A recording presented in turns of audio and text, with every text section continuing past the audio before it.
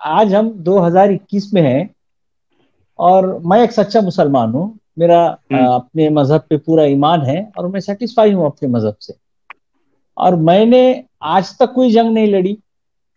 और मैं समझता हूँ साहिल भाई ने भी कोई जंग लड़ी नहीं होगी अभी तक। हम्म। और ना मुझे ऐसा लगता है कि हम अपनी ज़िंदगी में कोई जंग लड़ने वाले तो ये लौंडिया वाला जो भी मामला था ना आज हमारे सामने कहीं प्रैक्टिकली अवेलेबल है। ना दुनिया के किसी कोने में आज ये चीज़ अवेलेबल है। अच्छा तो अब्दुल हमीद भाई एक मिनट एक मिनट मैं आपको रोकना चाहता हूँ इधर ठीक है? अब देखिए मेरे पास है ना एक आ, हिंदी अनुवाद के साथ कुरान है ठीक है? मौलाना मोहम्मद जूनागढ़ी साहब का ठीक है?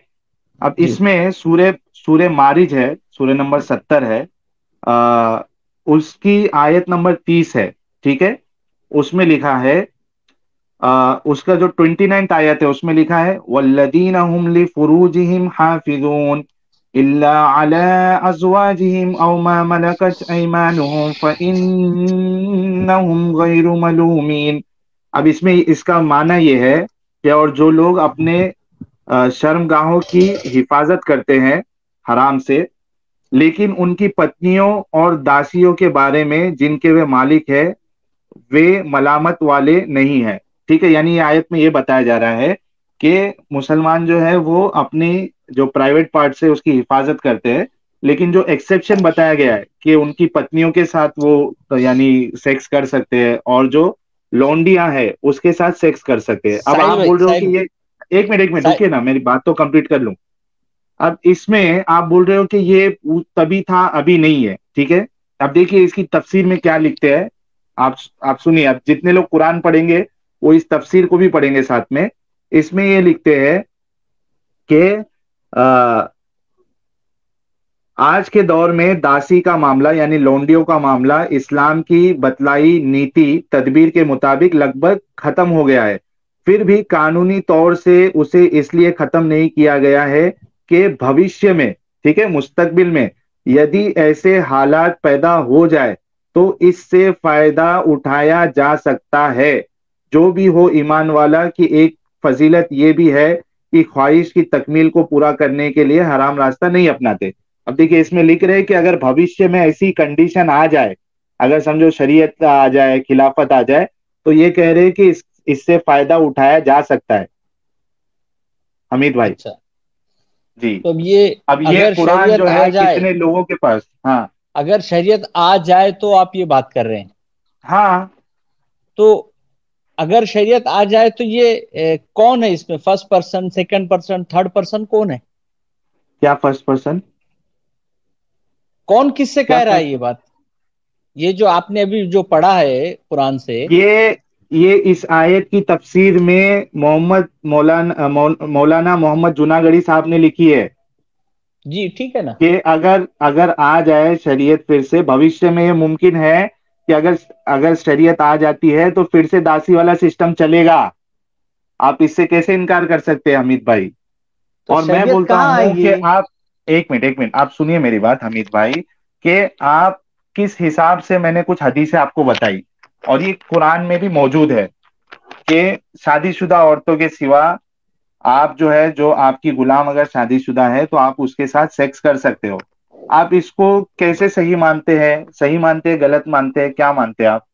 कि किसी औरत के साथ उसको बेचकर या उसको बांट कर उसके साथ हम बिस्तरी की जाए फिर उसको बेचने का भी ऑप्शन है। आप इसको क्या मानते हैं?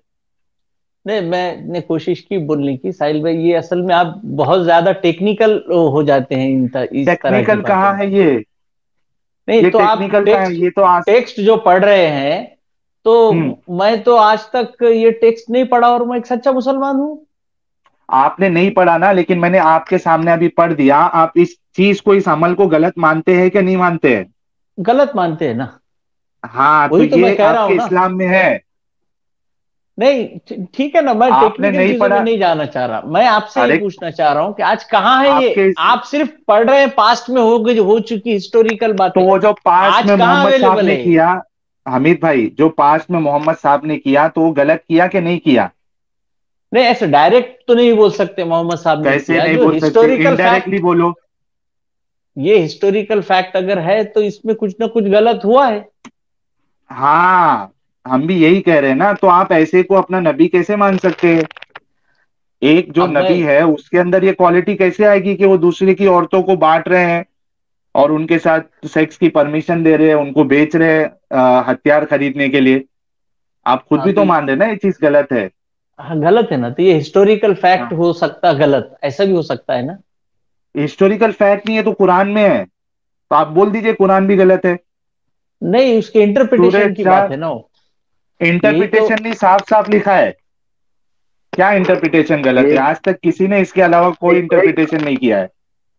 अरे यार लेकिन मैं ये तो बोलना चाह रहा हूँ बोले भाई कि मुझे तो अभी तक इस चीज़ को इतना डिटेल में पढ़ने की ज़रूरत महसूस नहीं हुई।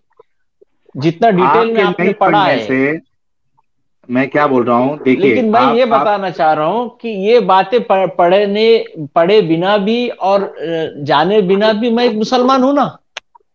आप रहो, आपको उससे आप, आपको कोई उससे रोक नहीं रहा। मैं बोल रहा हूँ, जब मोहम्मद साहब के कैरेक्टर पे आपने इतनी सच्चाई से माना कि ये चीज़ गलत थी, फिर आपका इख्तियार है कि आप फिर भी उनको अभी भी नबी मानिए, आपके ऊपर है। कम से कम आप माने कि ये चीज़ गलत थी, वो मेरे लिए बहुत बड़ी बात है। नहीं मैं हिस्टोरिकली बताया ना अगर ये सारी चीज़ें फैक्ट है तो ये सब गलत हुआ फिर ये जो हुआ। हाँ फैक्ट है ना क्योंकि ये ऐसा नहीं है कोई कोई रैंडमली कोई हिंदू आके या कोई यहूदी आके ये सब चीज़ लिख के गया है। ये बड़े बड़े अल्लामा और खुद कुरान में मौजूद है। ठीक है ना करेक्शन हर जगह हो सकता है मैं हिस्ट्री से ज़्यादा नहीं लेना चाहता मैं आपको बता रहा हूँ। करेक्शन नहीं हो सकता अभी देखिए सऊदी अर- अरे सऊदी ये सब चीज़ें तो हमारी है ही नहीं ना आप तो इंडिया की बात करो ना भाई हम इंडियन मुस्लिम है 2021 की बात करो तो ना। हम इंडिया की बात करते हैं ना हम इंसानियत की बात करते हैं आप इस्लाम को छोड़ दो। तो इंसानियत की तो बात कर रहे हैं ना हम लोग अभी। तो इस्लाम छोड़े को कोई फिर बात क्यों नहीं एक मिनट साहिल भाई ना छोड़े कोई बात नहीं। ये बोल रहे हैं कि आप सऊदी की बात मत करो इंडिया के मुस्लिम है इंडिया की बात करो। तो हम लोग हज करने काबा जाएँगे या आवाज़ जाएँगे? बहुत खराब आ रही है गालिब भाई की। मैं ये बोल रहा हूँ कि आपने कहा कि हम इंडियन मुस्लिम है हाँ, इंडिया की बात करेंगे सऊदी की बात नहीं करेंगे। नहीं नहीं आवाज़ तो आ रही है हमको सुनने में अमित भाई। साहिल भाई को आ रही है क्या आवाज़? हाँ हाँ मुझे आ रही है। हाँ तो वही बोल रहा हूँ कि हमीद भाई बोल रहे हैं कि हम लोग सऊदी नहीं हैं हम लोग इंडियन मुस्लिम हैं इंडिया की बात करेंगे तो मुझे ये बता दे कि हम लोग हज करने काबा जाएँगे या अयोध्या या मथुरा काशी? मेरे फैमिली से तो अभी तक कोई नहीं गया साहब और शायद अच्छा आप जाएँगे जाने तो कहाँ जाएँगे? नहीं जाएँगे ना मथुरा जाएँगे?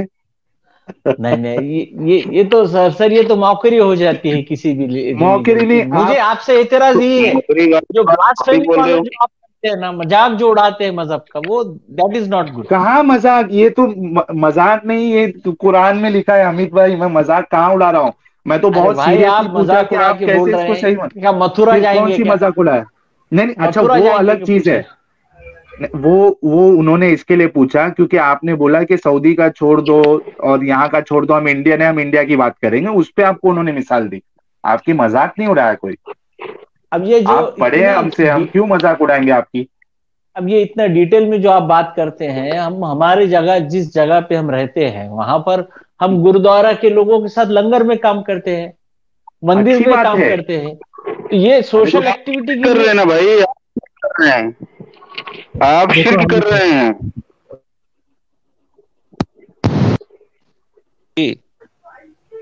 मैं मैं ये बोल रहा हूँ कि अमित जी आप शिरक कर रहे हैं। अगर आप दूसरे खुदा के दरबार में हाथ बटा रहे हैं तो आप शिरक कर रहे हैं भाई।